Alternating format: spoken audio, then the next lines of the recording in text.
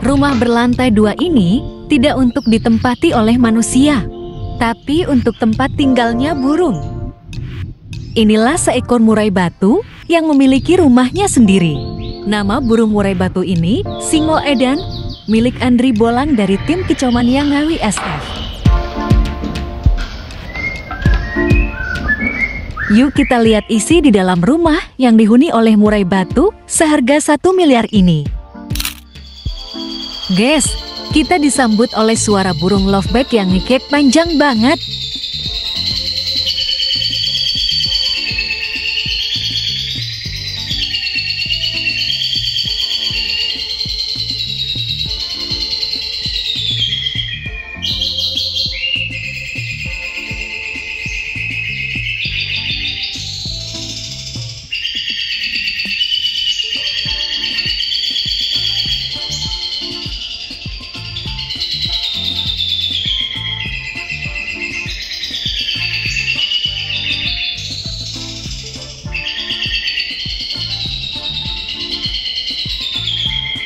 Oke, kita lanjut yuk.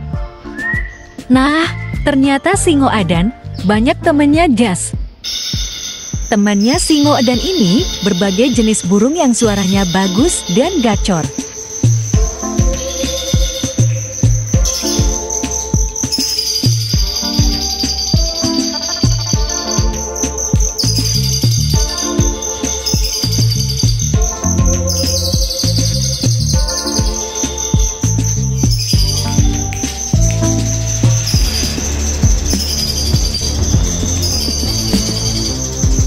Teman-teman Singo Edan ini, kalau istilahnya kicomania, biasa disebut burung-burung masteran. Dipilih sesuai suaranya yang bagus dan gacor setiap hari. Yang berfungsi supaya murai batu Singo Edan bisa menirukan atau mengingat ulang suara burung-burung temannya ini guys.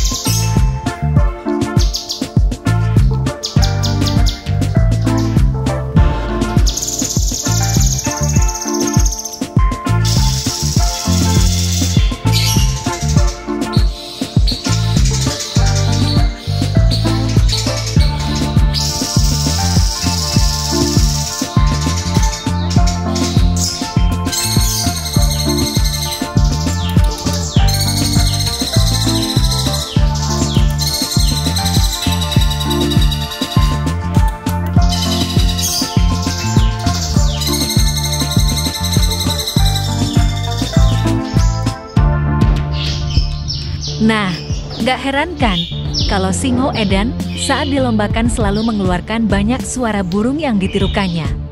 Karena tempat tinggal murai batu Singo Edan ini tidak ada burung murai batu lain selain dia saja. Dan joglo inilah tempat nongkrongnya Singo Edan saat di rumah dan posisi santai sebelum persiapan lomba. Ditemani oleh burung-burung masteran juga, Jess.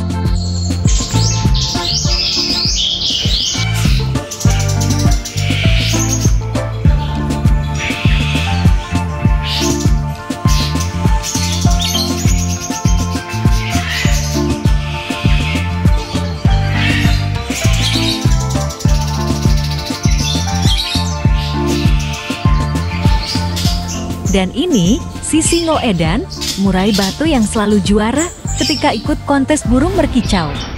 Kalau di rumah, dia tetap tinggal di sangkar kotak, sama seperti pemilik sebelumnya.